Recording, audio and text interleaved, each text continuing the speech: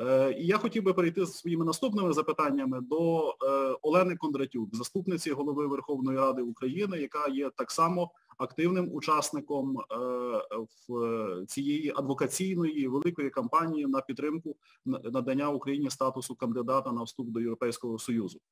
Олено, дякую, що ви тут. Я знаю, що у вас продовжується активний тур багатьма столицями Європи, і я хотів би попросити вас поділитися з нашою аудиторією, з великою українською аудиторією, вашими враженнями і прогнозом. Ваше слово.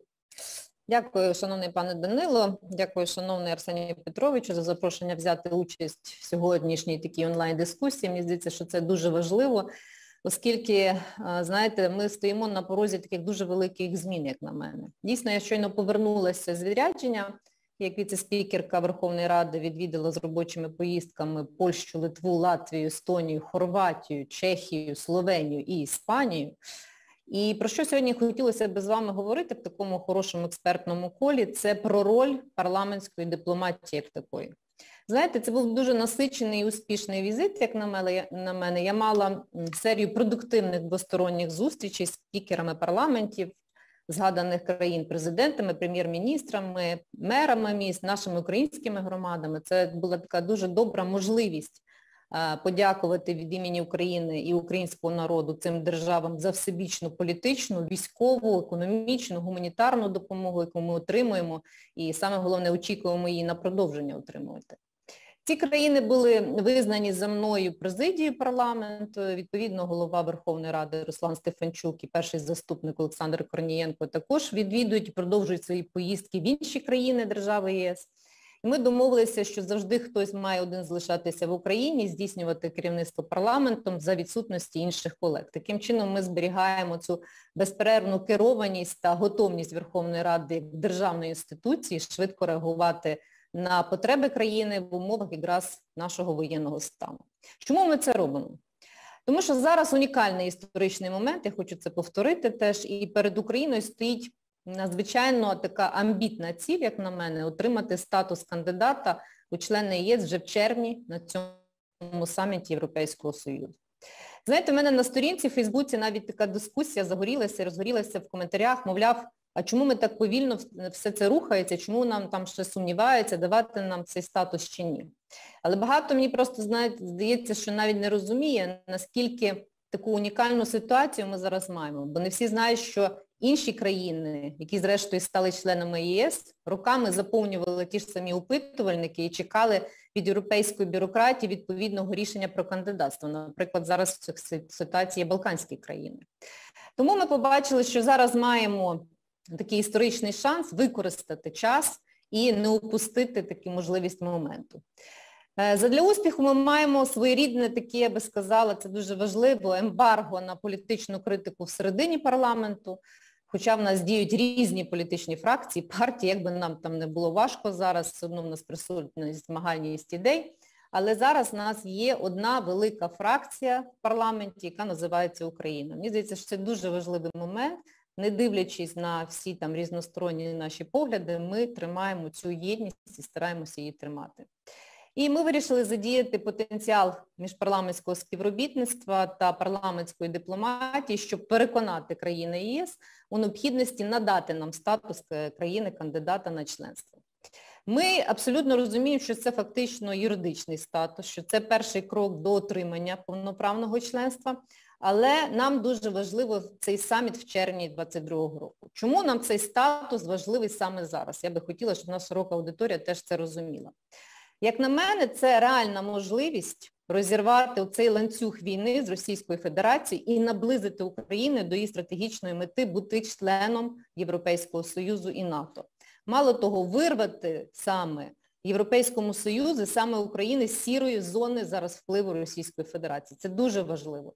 Друге, це показати реальне єднання країн Європейського Союзу в підтримці України і не дати Путіну жодного шансу на перемогу показати, що в Європейському Союзі знову немає єднання і немає єдності довкола України.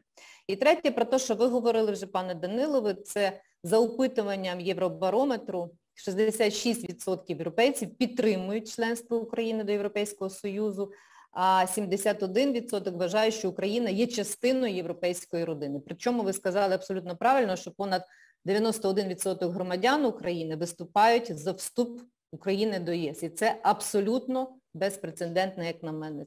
Нам неможливо цього упустити шансу.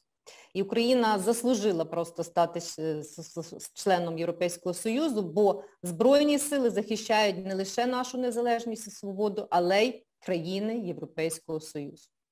До речі, більшість країн Європейського Союзу це парламентські республіки, тому найбільш важливу і стратегічну, стратегічні рішення, як такі, ухвалюються саме на рівні парламентів, а потім вже реалізуються урядами.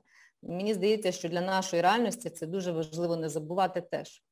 Хочу відверто сказати, що я задоволена абсолютно тим, як нас приймали. Україна зараз знаходиться, як на мене, на такої піку підтримки. Інтерес до нас абсолютно колосальний і завдяки нашим Збройним силам, ще раз повторюючи, нашій сміливості бути українцями заздрять багато країн. Нас приймали на рівні з собою, гідних бути членами Європейського Союзу, з великою солідарністю, з розумінням наших європейських амбіцій, співпереживанням, готовністю допомагати.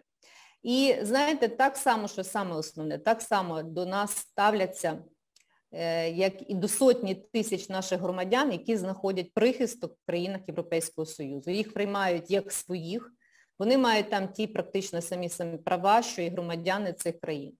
І під час кожної поїздки ми обов'язково відвідували центри надання допомоги вимушених переселенців, які отримали тимчасовий захист Європейського Союзу. І ми знайомилися на місці з тим, в яких умовах живуть громадяни, а це переважно жінки і діти, вразливі групи, на яких потрібно абсолютно ну, е, передбачати будь-яку підтримку.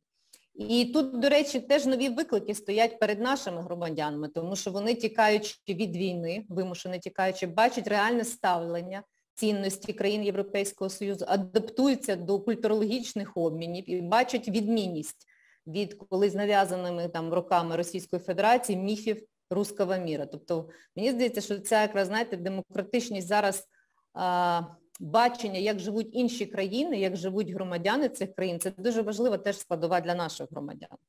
І ще одне спостереження. Як на мене, в умовах війни жіноче лідерство вкрай теж важливо. Жінки адвокатують вступ до Європейського Союзу на найвищих міжнародних майданчиках, координують великі проекти, які запускають економіку в тилу, е, відповідають європейським стандартам.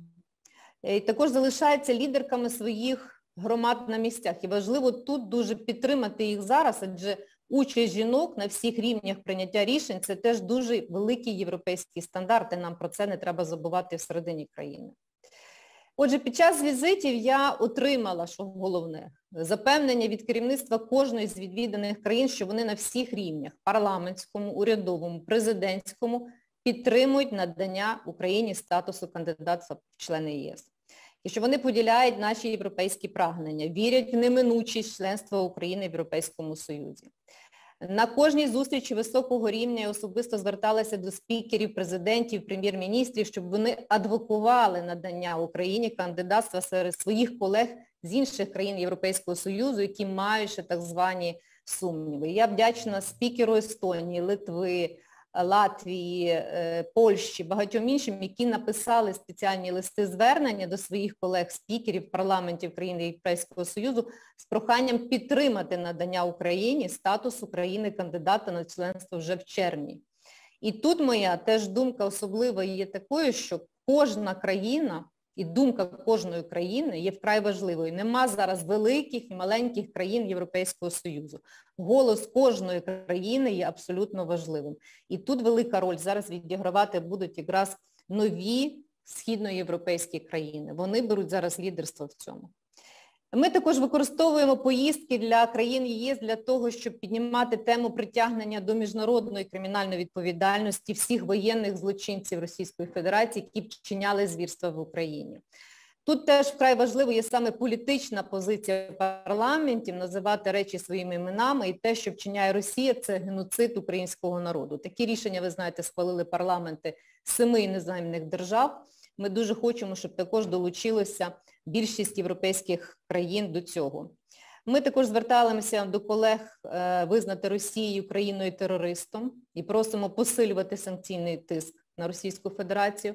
Тобто такими поїздками ми, якщо можна так підсумувати, фактично формуємо таку е, розгалужену, міцну мережу адвокатів нашого членства в ЄС і союзників України для наближення спільної перемоги над російським агресором.